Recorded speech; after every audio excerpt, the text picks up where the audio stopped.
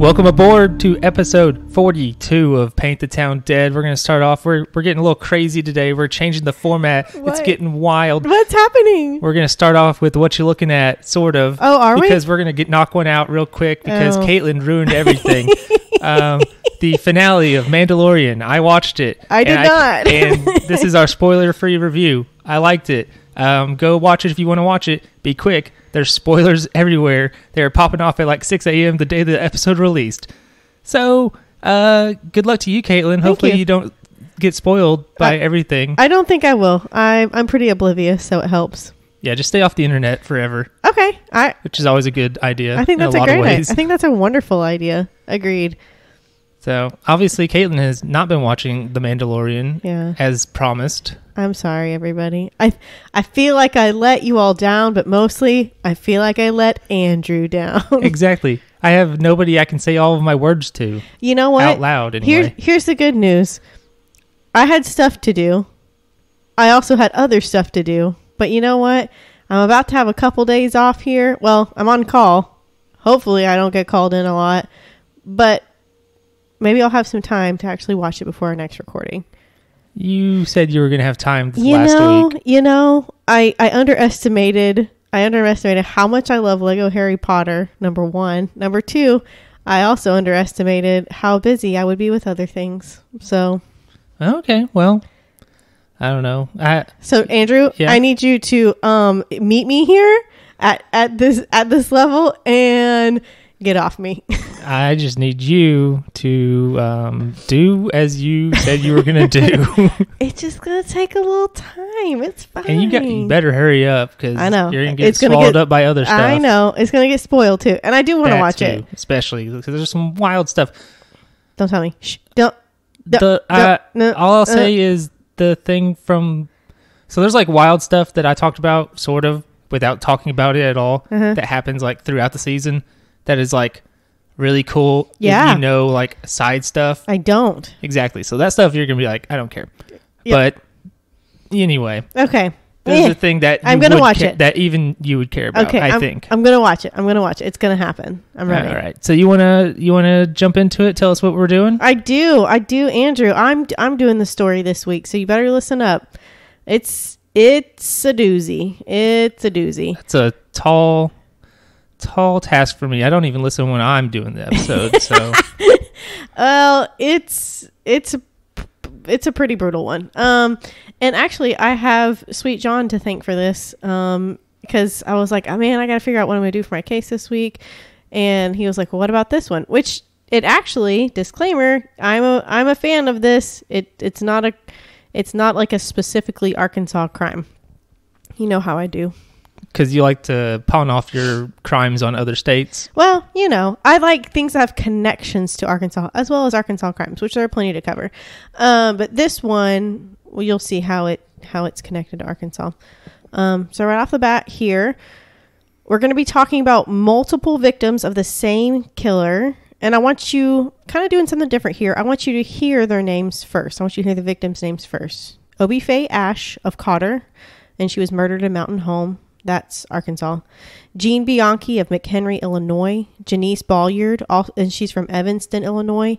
Jean Lingenfelter, she is also from McHenry. And I wanted to mention this first because, as we kind of talked about recently, I want our focus to be on the victims, even though we will be talking in depth about their murderer and his crimes, but they're all these women are all connected. Um, so the bulk of our story does take place in Illinois. Yeah. So just to jump in, that is something we've talked about a Yes. little bit. Like we mentioned it. Well, I mentioned it on a personal post. I guess you should put it on like the actual. Yes. Account. Yeah, yeah. Just uh, it's weird naming these episodes because normally if there's only one victim, we name it after them. Right. But if there's like Multiple victims. eleven, Yeah. we name it after John R. Kaiser, Yeah, the murderer, right. and it feels a little weird. I don't know. I don't, I don't like it. It it feels odd, but it doesn't seem like there's a good answer. But Yeah. if you have a good answer, let us know. Yeah, of what to name the episodes, because we don't want to honor these terrible, terrible, awful, no good people. Um. So, anyways, the bulk of our story, like I said, takes place in Illinois. It starts in Arkansas, and just a warning: I said it was a doozy, and I'm in it. These are horrifically violent crimes against women. But that being said, I want to go ahead and jump into this story, which unfortunately has to start at the very beginning. So we wa- we are going to talk about uh, our killer. So born June 27th, 1949 at the Mason- Masonic Masonic Masonic. Masonic Hospital, thank you, in Chicago to Charles Gilbert Smith and Dolores Recklin. Uh, this is weird though because I read another article and it said uh, our killer's name. Oh, Mark Mark Alan Smith is our, our killer. Said his mother was Sally Jean Chester and his father was Dennis Smith. So those are two completely different parents. So I don't know which one to believe. So uh, the couple though had four children, other children at home. When Mark was about two or three years old, his parents divorced, and his mother received primary custody of him. And this is so that'd be in like the fifties. That'd Yeah, be a lot more difficult. Yes, yes. I think I think there was like a big legal change at some point, probably in like the sixties or seventies, that made it easier to get divorced. Yeah, But, you know, obviously it's harder legally and then also uh culturally at this time. which can bring a lot of strife into a young child's life, probably. Yeah. So his mother received primary custody of him. At age seven, his mother remarried, and the family moved into the basement of her in law's house in McHenry County, Illinois, which is, I looked it up because I didn't know, you know, I'm not familiar with Illinois except for Chicago. Um, and uh, McHenry is like really, really far north Illinois, very far north Illinois. So there's that. It's practically um, the other state above it. Michigan, is that right? Wisconsin. There you go. I'm really great. Um, what? what? Uh, No, I was just trying to figure out where it was on a map relative. It's it's a ways away from Chicago. yeah, it, it's quite far north. So he began to attend the public school there in McHenry, but he was not adjusting well at all. So he had a lot of anger issues and it, it was practically uncontrollable anger. So he was moved back to Chicago where he had settled in and done okay. But in third grade, he's eight years old, by the way, third grade, after his return to Chicago, while attending Edgebrook Public School, Mark attempted to strangle a female student from his class behind the school, which is terrifying. And I'm not sure of the repercussions for this action. I'm sure there were some, but I, I don't know what they were. But another year later, one year later, at nine, nine years old, we're not even double digits, nine years old, Mark stabbed a six year old playmate more than 20 times with a penknife, which is horrifying. Yeah, nine nine year old and also it's a six year old child. That's, yes. that's Awful. That's wild. and uh, definitely a uh, blueprint for the future.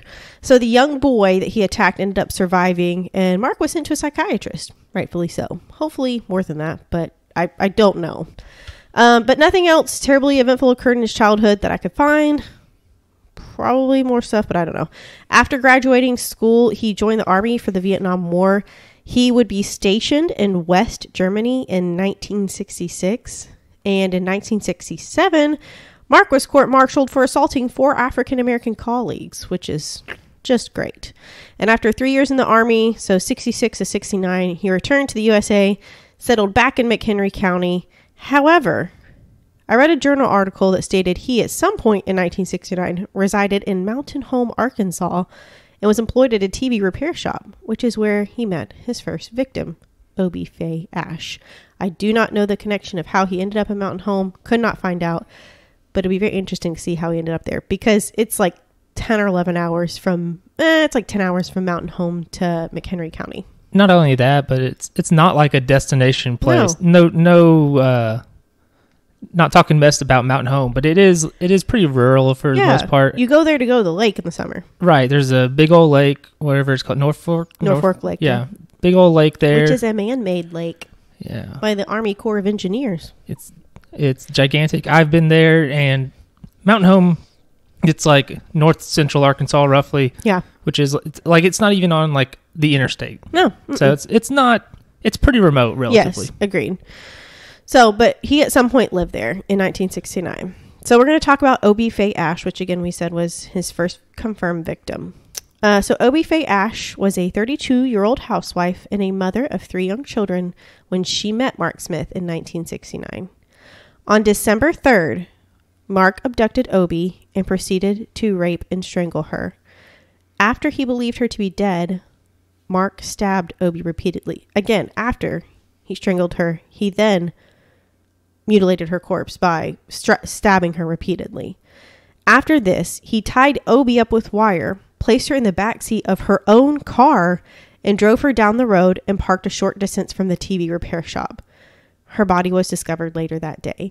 And I hate that there this victim is where the least amount of information is. Um, there's not much detail on a lot of articles. Uh, pretty cut and dry there, but you know, this is our Arkansas victim, and I hate, you know, this is what started his U.S. crime spree. So, um, anyways, I just wish there was more about her.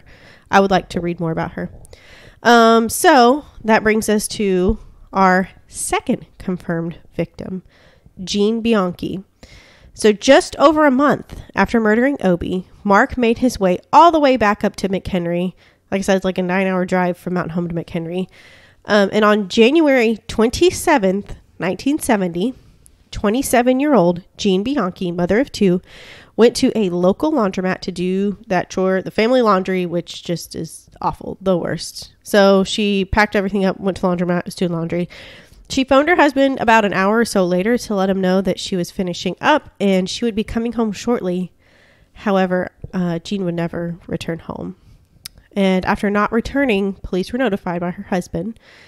Her laundry and an unfinished letter to a friend were found in the laundromat. So, I mean, like, all her laundry was still there. The letter was just like stopped mid sentence. And, I mean, clearly something had happened. Her vehicle was also found near the laundromat. So, for three days, her family, friends, and investigators searched high and low for her. And on January 30th, Jean's partially clothed body was found in an icy creek uh, near a bridge not far from town. She was absolutely unrecognizable. Um, she had been severely beaten about the face and she had multiple teeth knocked out, which that force, I mean, is an immense force. Like, that is anger, pure anger right there. And when an autopsy was performed, it was found that Jean was stabbed 17 times in the neck, back, and chest. She also had a liver laceration. And I don't know if that's from like stabbing or just like blunt force, like just the beating or some. Either way, to have a laceration on your liver, some pretty deep wounds. Um, her vagina had been traumatically lacerated as well. Sand and grass were discovered in her throat. So, I mean, it was just an absolute horrific mess. Terrible, terrible. Uh, so then that brings us to another month later and our third confirmed victim, Janice Bolliard. So, one month after murdering Jean, Jean Bianchi, Mark made his way to Des Plaines, Illinois. We've talked about this No idea what's the correct answer on how to pronounce it. because it's D E S P L A I N E S. I think it's Des Plaines. I guess if you if we go with another Midwestern city Mm-hmm. that is spelled has a similar setup, Uh-huh. like Des Moines, Yeah. so maybe it's Des Plaines. I don't know. That's my Oh, guess. That would be my guess just based on Des Moines. The S is silent. S's are silent. Get those S's out of here. We don't want 'em. want them. okay, cool. I'll go with that. I can get behind that. Yeah, I, d- I don't know if that's like maybe it's like French where and maybe it is based on French. I'm not sure I think it is. because those yeah those would have been part of the Isn't Illinois a French word? maybe Arkansas is. Ar- I thought it was that was an Indian thing. It's a Frenchification of an Indian word, Gotcha. and that's why there's a silent S. Um, because French, that we were a part of the Louisiana Purchase. that's right. We were the third state formed out of it. Number 25, baby. Halfway. That's 50% right. every And- time. That's right. In your face, Michigan. You were supposed to be founded the same day, but you weren't because of a whole thing with Ohio. Don't worry about it. Okay, so Des Mo- Des Plaines, Des Plaines, Illinois. so here on February 27th is where Mark encountered Janice Jan, as she was known to her friends, Bolliard. Jan worked in the resin research lab, which was part of the DeSoto Chemical Company in Mount Prospect, Illinois, which is not far from McHenry and all that. She worked at this area with Mark Smith. Um, 22 year old Jan was from Evanston, Illinois. She graduated from Northwestern University, where she was a member of Chi Omega sorority. So smart, smart woman, Yes. and a popular woman. Northwestern is a very prestigious university. Yes, it is. Um, I remember, and Evanston. The only reason I know it exists is because of Northwestern. Oh, that's in that's where Northwestern is. Yeah, and Okay. it's like right outside Chicago. that I did know that. Like Northwestern has branded themselves as Chicago's Big Ten team or whatever. Yeah, whatever. But yeah, so it's like it is a it's very a suburb. It's a suburb of yeah, Chicago. but it's a it's a very big time university as far as like yes. being academically elite. Yes, and she was incredibly intelligent. She was engaged to be married, uh, and her wedding was to take place on June 20th, 1970. Um, a friend and partner of Jan's once said of her, quote, Jan was my lab partner in 1970 in a course called C61 Advanced Chemistry. The course ran way, way over time, but Jan was always cheerful and enthusiastic. We wrote a little sign to put above the workbench that said, C61 forever. It takes that long, which I thought was funny. All of us went on to good careers, and Jan surely would have too. And that's from Bob Bambara, professor emer, Emeritus. Thank you. Emeritus at the University of Rochester was her lab partner and friend. Um, so Mark would work later hours at the lab, kind of late hours, as would Jan. And one evening, Jan went down to the basement, and Mark followed her. While there, Mark made sexual advances on Jan, which she resisted. Jan did not return home that night, and she was quickly reported missing by her fiance. Her body was found the next day at the at the chemical at the at the lab research lab. So what did he? Do we know what he did there at the lab? Oh no, I don't know.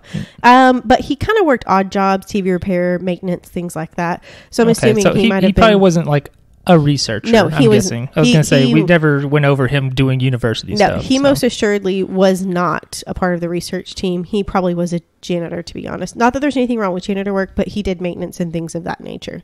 So he would not have been a part of her like, research team. would have been a handyman yes, or something. Yes. Okay. Um.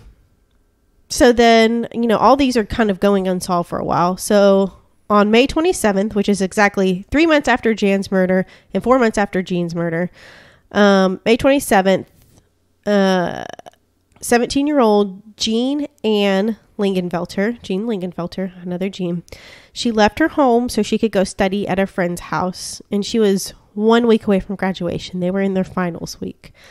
Jean was an honor student at McHenry High and had once triple dated Mark to prom. So I guess she had three dates to prom, which sounds kind of fun. But wouldn't that, or would that have been like a double date where it's like two couples? So there was like three couples. oh, I don't know. Is that? Wouldn't yeah? Wouldn't that be what that is? Oh. maybe. You're probably right. I don't know. I don't know what that means. I assumed it was her and three other guys, but it also could be It's three couples. yeah. I think my idea makes more sense. I know I like mine better. It sounds more fun. So, after two hours of studying with her friend, Jean left her friend's house with Mark, uh, who she knew. Her friend watched her get into his car and then they drove away. And as you can probably guess, Jean did not return home that night. Uh, sick with worry, her parents phoned authorities and reported her missing. Just the very next day, her body was found by a young man on a beach in Lakeland Park subdivision in the McHenry area. At autopsy, her body showed signs of extreme violence and beating, rape, and strangulation. So, this is all, you know, it's kind of a mystery. And clearly, there have been two victims in the McHenry area, and um, Janice was not far as well. Uh, so, things are heating up. Feelings were high. Guards were up around McHenry um, as two of their own had been murdered by a cold killer, and they had quickly connected the cases. And in the search for Jean, after she went missing, Mark just couldn't help himself, and he put himself into the search party, as we It often isn't- see. Yeah, isn't that always the way? Yes, it really is. It because they just have to know. Yeah. They just have to be a part of it. As they say in The Mandalorian, this is the way. it is not the way, though. This It- is not the way. It's their way. It's their way. Yes. And, and maybe the people who say this is the way in The Mandalorian aren't the ones to follow. Who's to say? oh, quit it! Stop! Stop! I don't know what you're doing, but stop it. Who's to say? Am I just making stuff up? Who knows? I need you to stop. But no, yeah, it, it, it is that Yeah. there's that. There's like um, the Cassie Cotta case where her Yes. ex husband was like running around with flyers and was on the news. and- Yes. or uh, just all there's all there's a million Yes. examples of this. Even that um the the guy oh my gosh, why did I forget his name? Uh in in Colorado murdered his pregnant wife and his two young daughters. Yeah, there was that one. There Chris was Watts. Chris Watts. There was I can't remember his name, but the guy who was like on the news talking about his neighbor Yes. girl, and then they mentioned that they found her body, and he's he like freezes up on camera, like oh yes. no, He's like They're gonna get me now. It was him. yeah, So I mean, it, you see it all the time. They just can't help themselves. It's because they want to know how close the police are to figuring things out. But here's the stupid thing: he he came onto police radar after he accidentally happened upon G's body with like surprising accuracy. Like he was just like, "Oh wow, here she is," and it's like, "How did you find her so quickly?" Number one, number two, like, I mean, anyways. So the young man that found her on the beach was Mark Alan Smith. So oh yeah. So he's the one who found her. And it was just like, hmm. Hmm. So police kind of started to piece it all together. Um so anyways, he finally was arrested for the crime for killing Jean. He was connected to her quickly. I mean, and he had a personal connection with her.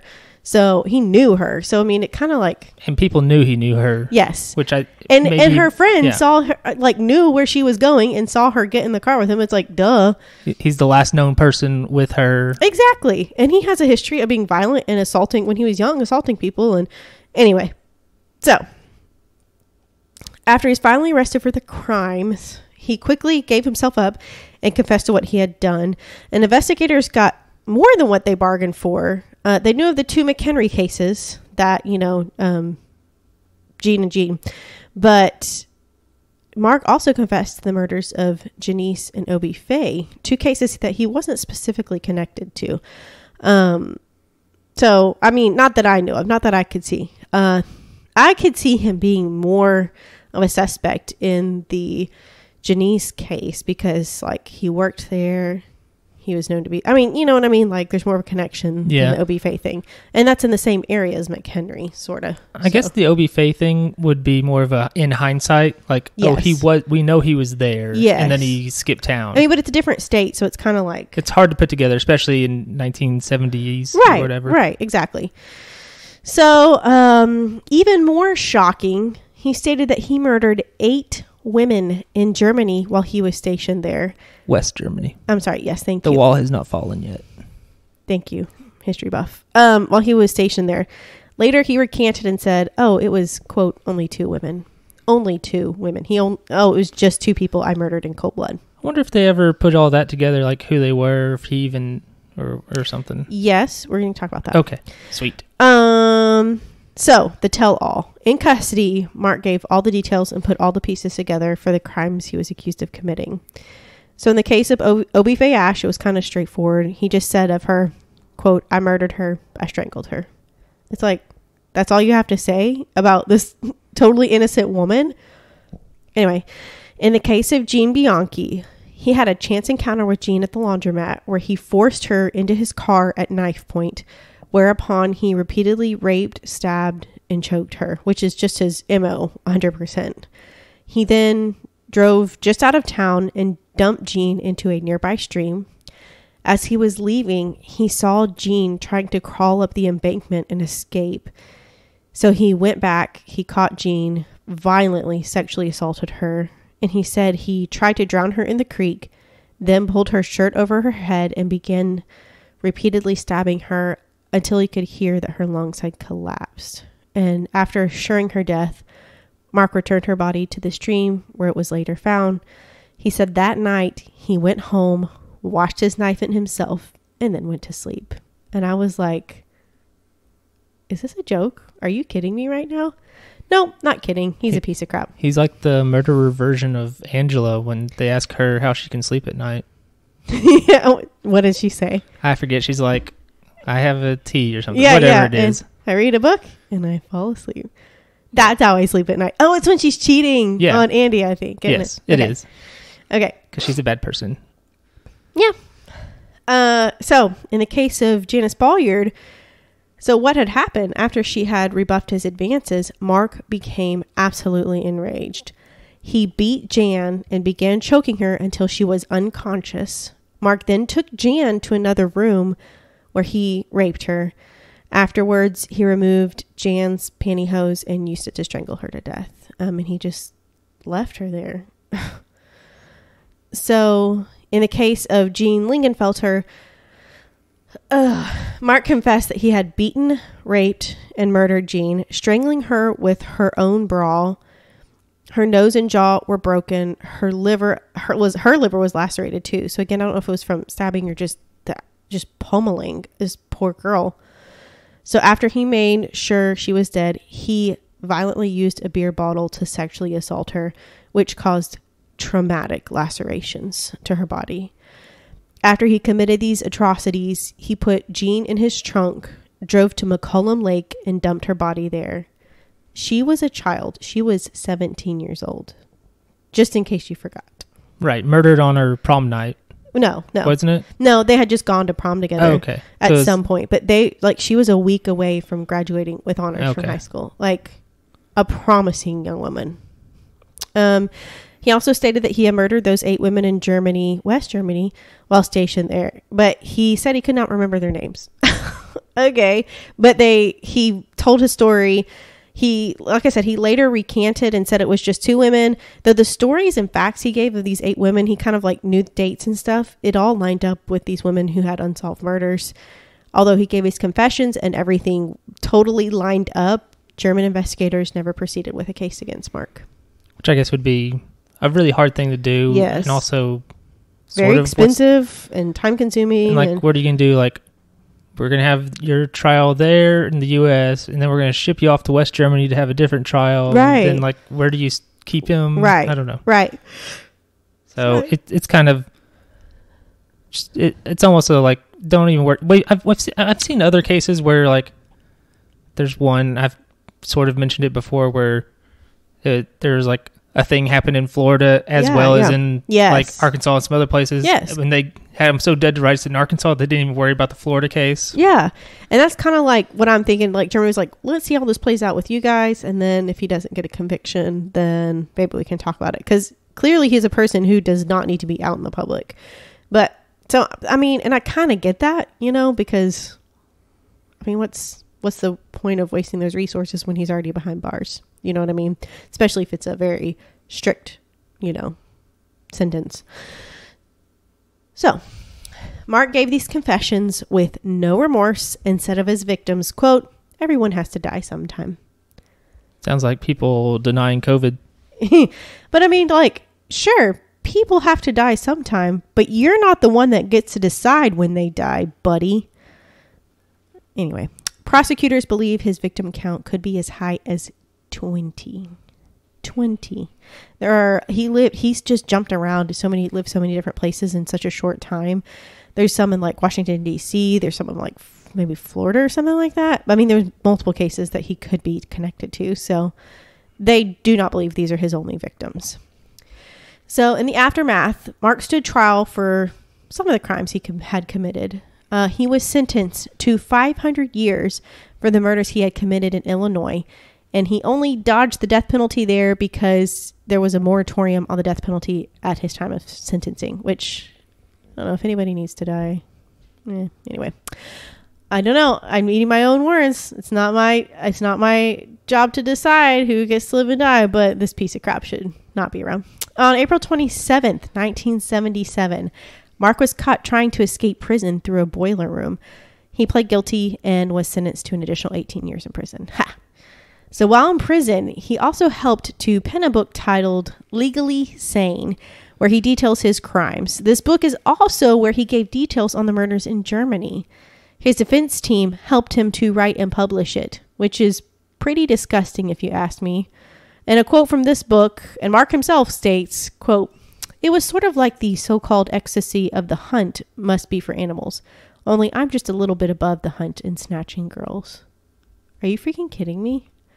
Like, why was this book allowed to be published? Number one, Seems like an awfully high opinion for somebody who's just a Who's in murder prison. rapist. and who's in prison? Like, Like he just has a high opinion of himself, and it's just like All- you're just a horrible murder rapist. I don't, I don't know what you want from me. and all serial killers are like think they're above like the law and think they're so much smarter than everybody else. So it's like, well, clearly you're pretty stupid because you put yourself in the case. You're like, oh, let me help. Oh my gosh, I found Jean. How did I find her? Oh, I was the one that did it. How did you figure that out?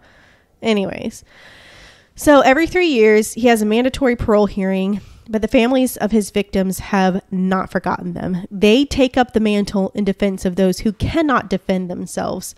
It is unlikely that he will ever be released. If he is released, he will immediately be relo relocated to Arkansas, where he will be required to serve his life sentence for the rest of his natural life, which I love. It's like, haha, I got parole. Psych. Nah, you're going to die in Arkansas, which we all know is sad. Um, in one of his parole hearings, Dr. Joseph Wepman, a psychologist who examined Mark years ago, stated, quote, Mark Alan Smith is always adapting, changing his story or his coloration to suit the circumstances.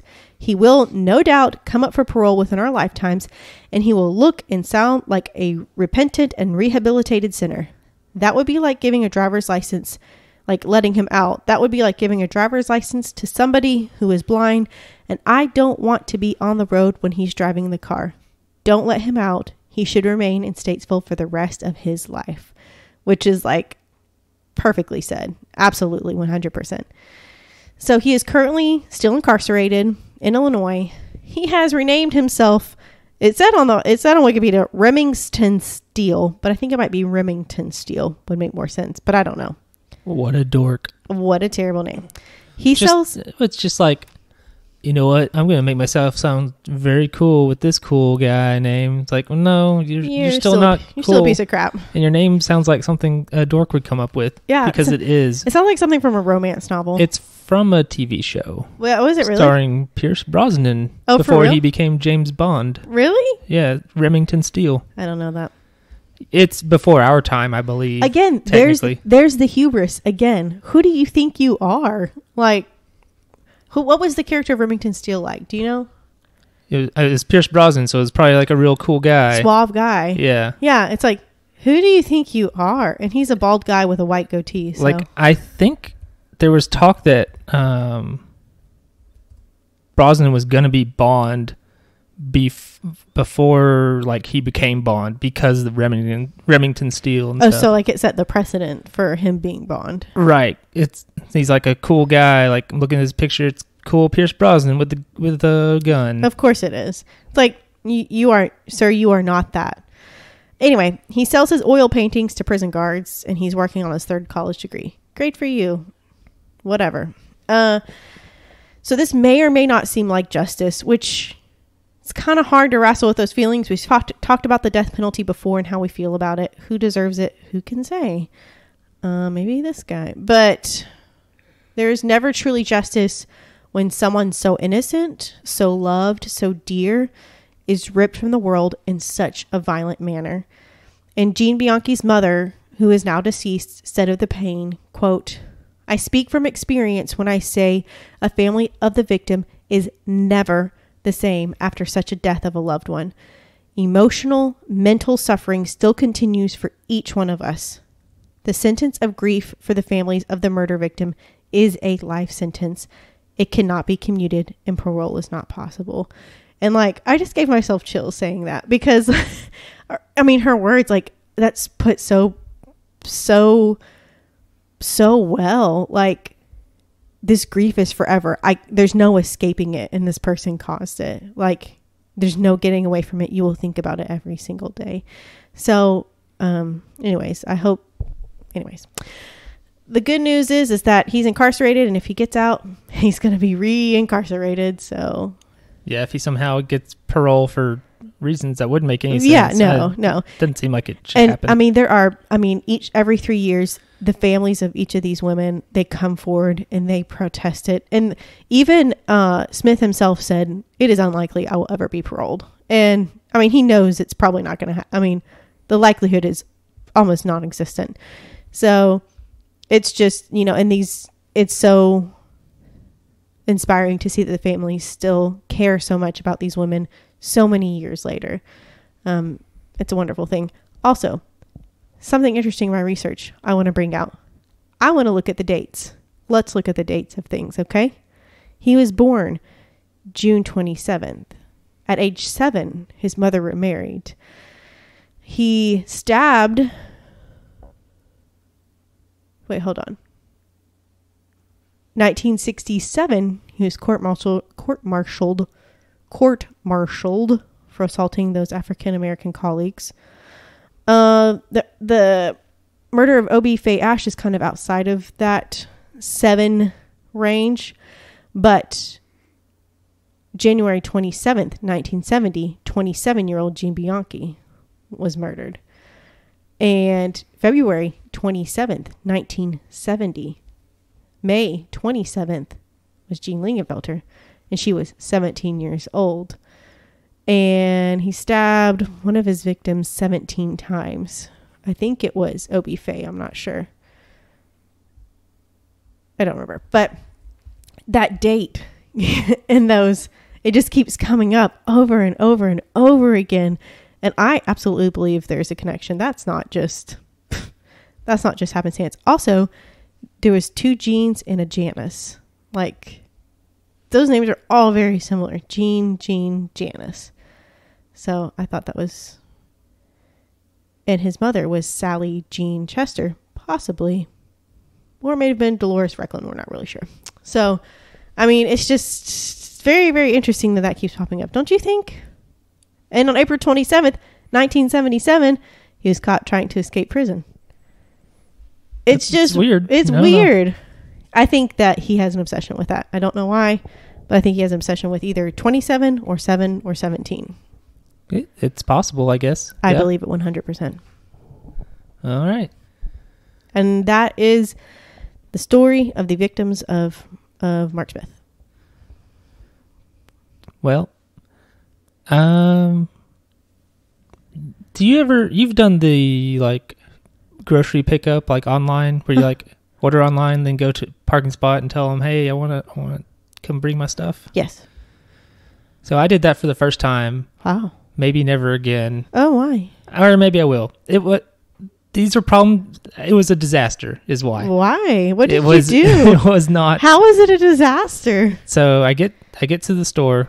Um, I pull up the the little app. I'm like, all right, Was this was this Kroger or Walmart? I don't want to name stores. I need to know. No, they're not paying for this. Um, so I get there and I'm like, all right, time to hit the thing, and it's like, it didn't work. It didn't work. Like, okay, well, I'll call the number. That didn't work. I realized I have no service. Why do you have any service? I don't know. So then I I turned the cellular cellular off and then turn it back on. No service. Turn the phone off, turn it back on. No service. So then I'm like, is there something wrong with my phone? Or is it the location? Yeah. Or is it like rebooting still or something? So I, I to get out of the people's way, even though there's plenty of spots, I just start driving around. Eventually, service comes back. What? I'm like, okay, cool. I'm gonna go drive back and see if it works. Get there, pull in the parking spot, no service again. It's just that parking spot? It's the entire parking lot area of this store. For some reason, I have no service, and obviously nobody else is having this problem because people are sitting there getting their stuff. You So- need a new phone really badly. I do. So then I, I I'm like, okay, well, I'll drive away, and I'll call that number. Call the number, and it's a machine, and it you has know what spot you're in? Yeah, and it's like, which spot are you in? It's like, I don't know. I'm not in one. I'm just trying to figure this out. so then I drive around some more, find a parking lot nearby that where I still have service, call up the store itself, and I'm like, I, I'm so sorry, but I need help with this. I this isn't y'all's fault. Just direct me to the the pickup people or whatever it's called. I need to speak that number directly. Yeah, and so I'm just like, I don't know why, but my my phone has no service in your parking lot. Only your park. It is a black hole. Just your parking It lot. It really is, and I'm just like, I don't know why, but just look out for this type of car. I'm gonna be there in like a minute because I'm close enough by. So that that was just like a whole mess, and also this is probably my fault. I haven't looked at the receipt to be sure because I didn't order a lot. uh-huh. Uh, but I ordered some green bean canned green beans, and I accidentally ordered a Whittle Whittle can, just like a little little Whittle, Whittle? just a Whittle eight ounce can. like, like that's probably my fault. I probably didn't look at it close enough, but They're man, like, who would want one can of little green beans? Just one. Yeah, just a little little can, Little little can. just itty bitty. I don't know. That's really funny. I have only had success with it. I actually one actually no I haven't. One time I used it and I got somebody else's groceries and they got mine. Hmm. See, and so that- I like just their I, fault. Though. Yeah, yeah. I came out. I was. I got home and I was like, these aren't my groceries. And it's not like I can just like I'm gonna like get out of my car and go look in the back of my car and be like, did you put the right groceries in? Because I'm trusting you. And so then I came back. I was like, these are not my groceries. And they were like, oh my gosh, I'm so sorry. We gave somebody else your groceries. And they're like, do you want to keep it? And I was like, no, I want the person to have their groceries and I would like mine. like, I, no, I don't. I, I, I just want my groceries back. Just give me my groceries. Anyways, that person came back and we switched and it was fine. But Yeah, it's good. but it's just like eh, that's a pretty bad mess up. I'm sure it happens though. Oh, stuff like that happens all the time in the service industries. Let me Yeah, tell you, I worked at restaurants. Um, but it's it's mine was mm, all my fault basically. But it's just well, it was wasn't just such really a your- disaster. it wasn't really your fault though. well, it wasn't their fault, we'll say. No, no, no, it wasn't. It wasn't anybody's fault. Yeah, so it's, it's not that store's fault. It's just it was just very frustrating though. 'cause It's it's like I just want to get these stupid groceries. I hit the button that's like I'm on the way. I'll be there within 15 minutes. Guess what? I wasn't basically because I had this whole hullabaloo of just my phone doesn't work here for some reason. That's really funny. I even I was like, is there a Wi-Fi I can reach in this? no. you could have gone into the you could have parked in a spot, gone into the store, used their Wi-Fi to say, "I'm here." Run back out and get in your car. maybe yeah. I don't know. That was that was very annoying though. That's funny. Um, you have anything interesting to talk about? I as do. that's like before we go to what you're looking at. Oh. if no, we'll just go to that. yeah. Let's just go to that. All right. Um, Well, we already talked about the Mandalorian. Don't harp on Yeah. me. I'm gonna watch it. Okay. Um, I usually have more stuff to talk about, so I'll go first, maybe, or at least I'll say one thing first. Okay. You say Um, one thing first. Star Wars Rebels. It's always Star Wars. I, it is lately because I I, I want to get through these shows because like you want to know? Yeah. there are characters and things that happen in them that get referenced in later things and will be referenced in these later shows that are being made. Yeah, like yeah. Ahsoka. Yeah. Um, so watching Rebels, I, I I had low expectations going in because a lot of people were kind of met on it compared to Clone Wars, Yeah. And I quite like it so far. There you go. Yeah, That's what matters. there the animation's not as good. I don't think they had the same kind of budget as the end of Clone Wars had, Uh huh. uh, and it's slightly different style of animation. Uh, the there is there have been two parts that have been really annoying to watch animation wise, which is where the Inquisitor uh, starts using his lightsaber and it like spins around real fast, and there is like something happens to the frame rate on the show to where it's like very choppy suddenly. Mm. Sort of like when you play a video game and too much stuff is on screen like- and it goes starts yeah going very choppy. It just out of nowhere the frame rate is just horrible and it's very jarring. It's only happened twice, but it, I didn't care for that. Mm-hmm. But so far, I, I think it's pretty good. It it's uh it's more kid friendly than Clone Wars. It, at least more so than Clone Wars became, I guess. Mhm. So far, Mm-hmm. we'll see. I'm not super far into it.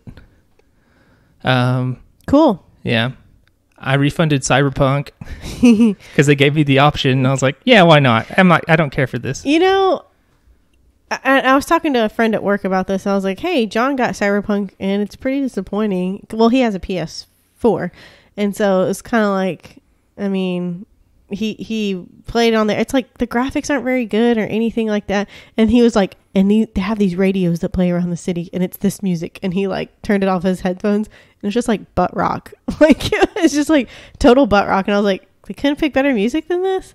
And I mean, it, he and even a friend at work, I was telling about this. He's like, yeah, uh, you know, I, I his son got a PS5. He's like, playing on the PS5, and I was not impressed with it on the PS5. Well, the, to be fair, the PS5 version Yeah. is not technically out yet. okay, So what you're doing is playing the PS4, PS4 version, version. on PS5. It And might it- run a little better, but you're not playing the official PS5 version. Let them know whenever that comes out, though, you get a free upgrade to the PS5 version. okay, that's what it was. Uh, so I mean, he, anyways, okay, that explains it. Yeah, the the yeah. If you want to find somebody who's like, no, this thing looks good and runs good, it's gonna be somebody with like a sweet ass PC. Yes, yeah, and they said on PC. That's what they said. A PC was like But really good. Really, honestly, it's just I don't think it plays very well. Part of it is like I mentioned about the frame rate on Rebels, Yeah. the frame rate on Cyberpunk is always terrible and Yeah. always like herky jerky in a way that like kind of hurts my eyes. It's kind of like um a worse version of that show Dragon Prince I tried to watch, Oh, yeah, where it had like the weird frame rate, Yeah. And I was like, I, I can't do this right now. Yeah. So when I saw the thing where it's like, hey, Sony's giving refunds and also pulling it from their store, Which is really bad. I was just like, yeah, I'll take the out. I'm out. I, whatever. I'm, Yeah. I'll do that. fine. Well, and you know, that was a chair. And you know, I A likely story. you know, people were like, PlayStation 5 is out. Give us Cyberpunk. And they were like, we're not ready. They're like, no, you said you would have it out. Give it to us now. And they're like, okay, it's not ready. And people are like, what is this garbage? What is it? well, the weird thing is, it was supposed to release in November. Yes. And like a week before it was going to come out, they said, nope, we're delaying it again, Yes. which is the crazy part. Yeah. So usually, you know, a delay comes months in advance, not Right. a week Maybe or whatever it was. it ready. Well, they they clearly shouldn't have. didn't. It's it's like uh, Shigeru Miyamoto always says a a uh, bad game is always bad, or a bad release game is always bad. A delayed game can be good. That's true. Um, that's Wise that's less to live. true these days. Wise words to live by. Yeah, it's less true these days though because of constant updates and patches and stuff. But Well, you know what won't let you down? uh, what's that? The Lego games. They're a lot of fun. Oh, I guess. Nice, innocent, good fun. I feel like they only control slightly better than Fall Guys, and I don't like the way Fall Guys controls. So there. Okay. That's uh that's my hot take right there. When I play a video game, I like the controls to be good. Okay. That's fine. That's why I like Hades so much cuz it controls super good and feels awesome. Sure. Whatever you say. Oh my god. Um, what else are you looking at? Um so remember how I started uh watching I watched that Gravity Falls show? Yeah. I think? bought a book. you bought it- a it's Gravity. Falls book? I got I bought a Gravity Falls book. It's a very good show. I finished it. Okay. And I was looking at stuff and it's like, "Hey, there's this book that's got like extra lore and stuff and Weird. like It's kind of like it's- this it's reminds called- me of Adventure Time. It, it's called a Journal Three, and it's basically like a book that's done in the style of the journals from the uh, show, Uh huh. and so it's got like pictures and like uh, of like various monsters, like the abominable Bro Man, uh, the uh, barfing fairies, the invisible wizard, stuff like that, and it's like got their drawings and like what their deal is, and like various and like lore stuff. So that's a really cool book. Uh huh. So I got that. Uh, I watched I watched wrestling, and I only bring this up because of this ridiculous thing that happened. Tell Andrew. Tell me, I am on pins and It's needles. so dumb. Okay. They had the Fiend Bray Wyatt against Randy Orton in an Inferno match. Fire. Yes, It was fire. Yes, Inferno matches historically are terrible. This is probably the best one, and it was okay. Oh. Partially because they got to do it without a crowd, so they could do some wacky stuff. Uh huh. For instance, there's very obvious editing that they put together mixed with the live stuff they were doing. Weird. So it'd be like zoom in real close in certain spots because they did like the spot where he did like a trail of fire towards a thing and somebody dodged out of the way. Oh my it's gosh. like it's like oh that was very edited. oh no. And you win the match by setting the other person on fire. That that's that's terrible. As a healthcare professional, I do not recommend this. So Bray Wyatt, the fiend, Mhm. he's like this supernatural monster. He got set on fire Okay. and then he got knocked out oh no. and then and then the best part happened. Randy Orton went out, grabbed some gasoline. That He'd won the match by now. Poured gasoline onto the fiend and set him on fire and killed him. He is dead. not really in real he life. He murdered a man. not in real life. No, there was very again. This is they Okay, edited. you had me worried. You had me. Li- I'm good. I'm not gonna lie. You had me a little worried. Caitlin wrestling is fake. Um, I don't want to blow your mind there. Oh my There's gosh. like I said, they could edit things. Uh-huh. There's some very clear edits of where they like did they filmed something earlier where they had a guy on fire Mm-hmm. and burnt to ash. And it was clearly a dummy. Oh. like so much clearly a dummy when they cut. Just Oh. hilarious. But there's like he murdered a man in like the storyline. We need to do an episode about this. And the best part is like the closing the closing shot of the show was Randy Orton doing his goofy pose that he always does. He's done it for like two decades and there's like fire all around him. It's like I killed a guy. it's like. Is No. he like what's going to happen in storyline now? Does he go to jail because No. he committed murder? Is he going to be on the lam now? Is he is he running from the cops? Is that going to be his storyline from now on? Like, Maybe yeah, maybe he's ready to be caught in, in his career. Maybe he's done. it's Maybe this is his out. Maybe he, he's he murdered a man on Well, TV. It sounds like he wants to go to prison. Is ridiculous. Agreed. 100 You have never said such truer words, Andrew. even in the world of wrestling, this is ridiculous. Oh yeah. Yeah, Well, I wouldn't know. yeah. Sounds pretty on par for me. You, there's usually not people straight up murdered. Well, Not anymore. doesn't sound fun. I don't Unless it's Lucha Underground, they straight up murdered people on that. But that show was that show was intentionally weird. Oh, okay. You been watching anything else, or Yes. Okay. Thank you. Oh my god, I get to talk. Okay. you you told you asked me? I'm just kidding. Um That's on you this time. Okay, so this weekend, John and I went to go see the Conway Symphony Orchestra. Um, didn't have high expectations because it's a community orchestra. I was like, it's gonna be good. They were doing a Trans Siberian Orchestra concert, and I was like, this is gonna be A for effort. It's gonna be, you know, I'm glad they socially distanced. Everybody wore masks. It was it was great. It was good. And I was like, you know what? It's just gonna be nice to be in a theater setting that show rocked my face off. It was amazing. My friend Gunnar Bartlett was in charge of like the production of it. Dude, it was like a full on mini TSO concert. Like it was rocking. The musicians were excellent. The sound was excellent. The singers were phenomenal. It was, uh, and it had a string orchestra, a real string orchestra in the back. And it was awesome. It was so good. Like, I had so much fun. It was incredible. I couldn't believe it was as good as it was. Go see it next year, hundred percent. All right. What Yeah. else you got? Um, I finished watching a movie. Oh yeah, I finished watching Jojo Rabbit. and you still think it's great? I love it. Okay. That's one of the greatest movies I think I've ever seen. And like when I saw it, I was like, I don't really understand why this movie was nominated for so many awards. And it's like, I don't understand the premise of it. I didn't get the title, you know, Jojo Rabbit. I was like, what is what is that? What does that mean? And then I was like, it's funny, but it's Hitler in Ger- world world war war blah, blah, blah, wartime Germany, like Nazi Germany. I was like, how is this funny? But also like heartfelt. We used to make fun of Hitler a lot more. I think we should get back to it to some Yeah. extent. Yeah, he's a terrible human. Um, But yeah. let me tell you. Oh, sorry, I'm moving the mic a lot. Please don't. I'm so sorry. Um, so I, I think I start pretty much the bait the what I said earlier. You know, last week about it, pretty much stands true. I was crying at the end of it. Like it was so bittersweet. I, it was a it was a precious movie, and I love that it took war, Nazi wartime Germany from the viewpoint of a 10 year old boy, a 10 year old little boy living in there, the propaganda that was in his face, how he dealt with it, how he dealt with knowing a Jewish person, and how that fit into his ideas of everything. It was. It was great. It was a wonderful movie. It was funny. It was cute. It was sad. It was heartfelt. It was everything. It was great. Love it. All the awards for Jojo Rabbit. I might be a little behind on that. I think it came out like two years ago. Uh, Maybe last I think year. it was last year. Last year. I can't remember, or maybe early this year. I have no idea. I know all time is nothing anymore.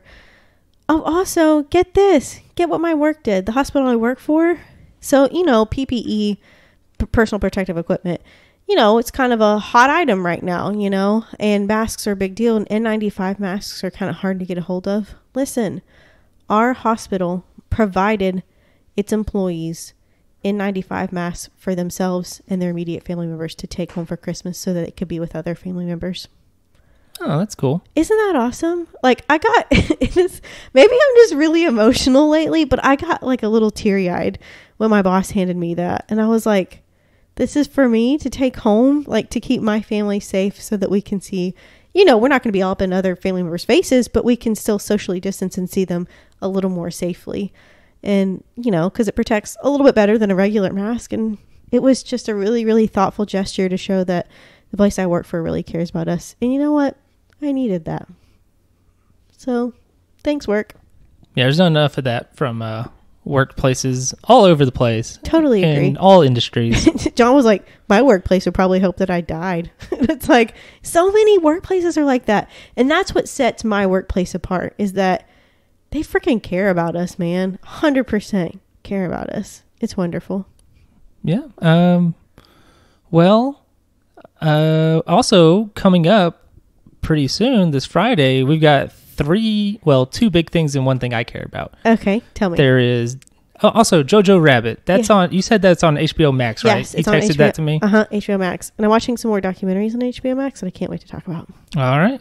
Um, so Disney Plus Friday on Christmas Day, so. Soul Yes! from Pixar is coming out, Yes, and on HBO Max, Wonder Woman 1984 is coming out the same day. Super stoked. And then the thing I only care about, uh, Christmas. the Disney Gallery for Oh, Mandalorian season two Sure comes that, out, which is where they do all their behind the scenes stuff and discussions. I watched that first one, uh, like several weeks ago, and thought it was really good. So I'll Also, probably um, watch it again. It's Christmas Day on Friday. It's Christmas Day. yeah, that's why all the cool stuff coming out. And there's basketball. The NBA is back Nee. on Christmas Day. Nee. There's probably other stuff going on. But it's Christmas Day. That's right. And this Christmas, Andrew, I'm thankful for. Wait, no, that's Thanksgiving. This Christmas, I want a million dollars. That's what Christmas is all about. Well, you're only getting 600, so Yep, Tuck. for real? That's happening yeah. from you? No, from the government, That's happening? supposedly. Wow. It's been a busy day at work today. I have not had the opportunity to read news. I don't. I don't know if that's been I'm gonna get confirmed as I record this. Anyway, Gue- guess what? Guess what I'm going to do with it? uh, stimulate the economy. Put it back to my credit card. There you go. you know, it, I don't spend money on fun things. It's That's like, America. I'm gonna, pay stuff off. being in being in debt is very America. True. Oh, that's that's very on brand. I will say though, again, my work, they paid for my education. The degree I just got, they paid for it. Well, that's good. I work for a good place. Yeah, for now. What is that supposed to mean? I don't know. Things change, you know. That's true, but for now, yes, I do. I, I like it. don't jinx me, God. That's a reverse jinx, though. Oh, Where you say if you say a thing, something bad. yeah. If you say jinxing would be like uh, during that WWE show, they had this whole goofy thing for about New Year's, where it's like, oh no, it's the biggest villain, 2020. And they had this Oh like God. goofy CGI thing that they overlaid on actual wrestlers Mm-hmm. and like digitally removed the wrestlers and then had like the 2020 CGI monster being thrown through a table or being hit with a big super kick or something, just all that stuff. And it's like, yeah. And then, oh, here's the, here's our hero 2021. It's like, y'all jinxed it. 2021 is going to be a disaster. Dang it. It's true. It's very true. You're right. Uh, no, but what? Hey, what's one thing? What's one thing that you wanted for Christmas this year? Oh, I, uh, that Gravity Falls Journal 3 book. Mm-hmm. Um, I thought about asking for that for Christmas because my parents are still like, "What do you want for Christmas?" And I feel weird about it because Yeah. I'm technically an adult. um, so I looked at it, and the delivery thing on Amazon was like, "It'll be delivered around January 5th or 10th." So I was like, well, "I'll just buy it myself. It's like ten bucks, whatever." Yeah. yeah. It showed up uh, today, December 21st. I Wow. was like, "Okay, cool. They didn't want to make any promises. I guess not." So that, that's uh, I think as we get older, we I ask want for I want less. pajama bottoms. oh, That's my thing. I, those are very comfortable. Yeah, I would love I some need more. I need some new ones. I like that. I'm wearing some right now. They're like Christmassy plaid. I like that they have the like fitted fitted ankle on them. They're like, Oh, I do not want anything to do with that. oh, I like it. If I could, if there's, if I could live my life as I pleased without any consequences, Hmm. I would never wear real pants like jeans, Khakis. I know they're the worst. It would be it would be athletic shorts Here's what you. and pajama bottoms, but not your little ankle things. What is that about? And I would, ne- if I could, if I could, I would never wear socks either. Socks are pretty constricting. Here's exactly. what. Here's what. what your ankle thing sounds like. no, it's not. I promise. It's great. Here's what you would like. A kilt. Promise. Bet. No, because that's too revealing, and I'm too shy. No, no, no. It's fine. You're covered. You're nice. You just wear under underneath it. It was, it was fine. But that's what I love about. You remember when I used to wear dresses all the time?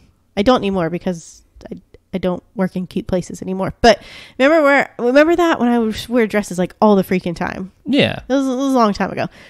You know why I did that?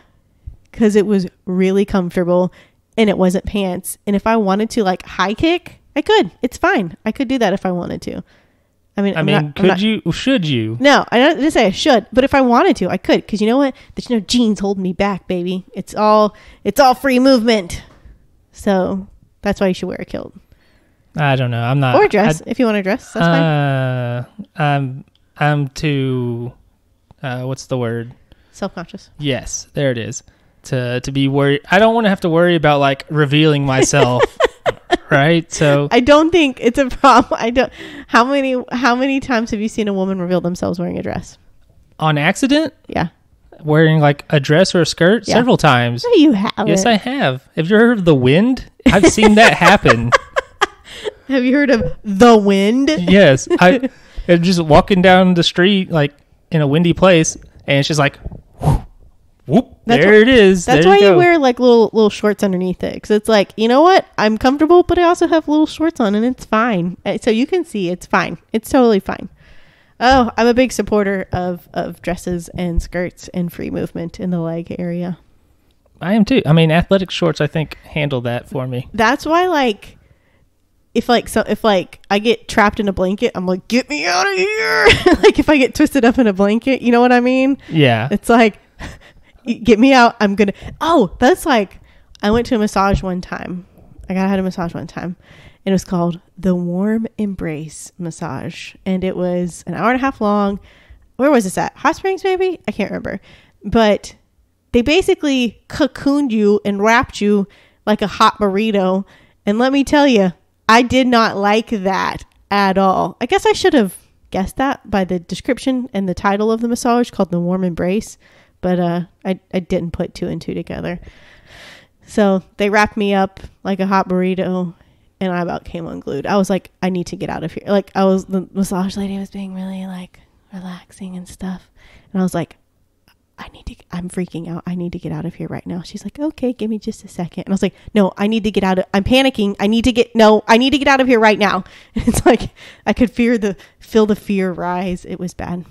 Yeah, I don't. I don't care for that. Like sleeping bags. No, thank you. Don't like them. I like laying in like a bed and being Spread able to like, eagle, spread five point star. spread my legs around, especially like when like the sheets are a certain level of cold and you just Mm, rub your legs around and it's just like yeah, that feels nice. yeah, I'm free and it's a little cool, but it's also toasty. Yeah. So I, I, yeah, don't. The- I don't. I don't Where like did the sound we- of your ankle thing. Where did we, okay. That's what, Christmas presents. yeah, yeah. And pajama bottoms. Yeah.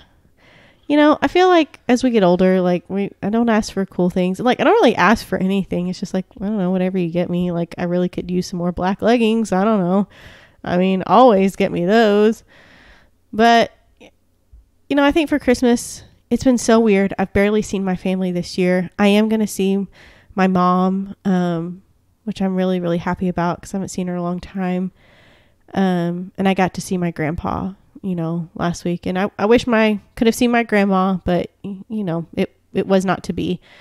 And I, I, but I'm glad I got to see my grandpa and my uncle. That really I didn't think I was going to be able to this holiday season, and I'm really grateful that I got to. So that's a special Christmas for me. That's good. Yeah. Oh, also, I got to open a Christmas present early. Ooh. You What saw what was it it? was. It's a piano. Well, it's a keyboard, but it's fine. It's a piano, and I'm so excited because I told. Listen, I got I got really emotional because when John and I started dating, I was like, when I finish school, I want to take piano lessons, and I want to.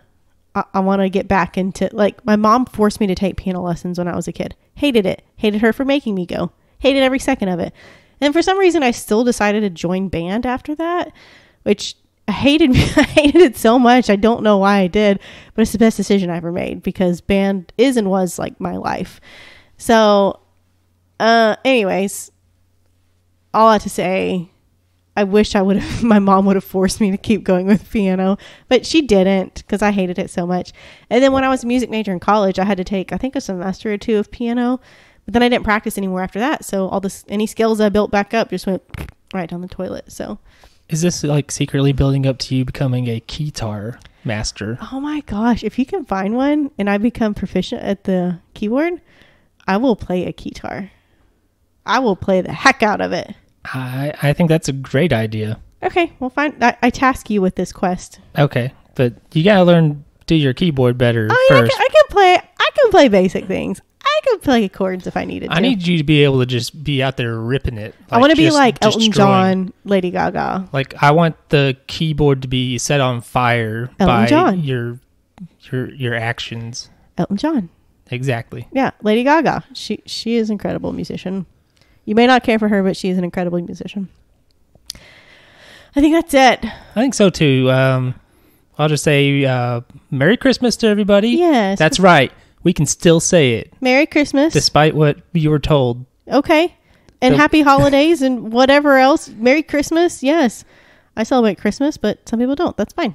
Happy whatever. Happy whatever you're doing. Happy Festivus, Merry Crimbus, or if you're British, Happy Christmas, which just sounds so Happy wrong. Christmas, Harry. sounds so wrong. Or if you're Jewish, I think Hanukkah is still happening. I have no idea. I know it's like over a period of a certain amount of days at a certain point in time. It's, it's in this time period. Yeah, it, I, I don't know if it's over or if it's still going or what. I don't know. I know there's like eight day. I don't know. We're from Arkansas. The Jewish population I don't know any. is Jewish quite people. small here. Yeah, I don't. Is there a temple here?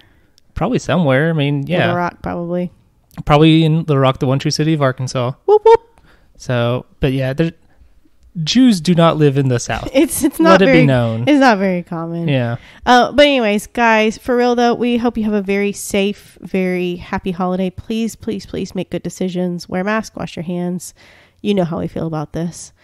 Guys, you can catch us on Facebook, Paint the Town Dead. You can catch us on Twitter, Paint the PTT. Wow, I've I've I've forgotten Twitter, PTTD Pod. Um, you can email us pttdpod at gmail.com. Oh, Instagram, Paint the Town Dead, all one word. Um, we drop episodes every Tuesday unless I get caught by a plane and then it's going to be delayed. um, and we um, drop episodes every Tuesday. I'm I'm struggling right now. What's happening? It's Christmas. Yes, Your mind's elsewhere. it is elsewhere. Okay. Um, thank you guys so much for stopping by. We love each and every one of you. We care about each and every one of you. And we hope that you subscribe, rate, like, share, comment, like five stars, rate five stars. Anything you do helps us out and we greatly appreciate it. Merry Christmas, everybody. And God bless.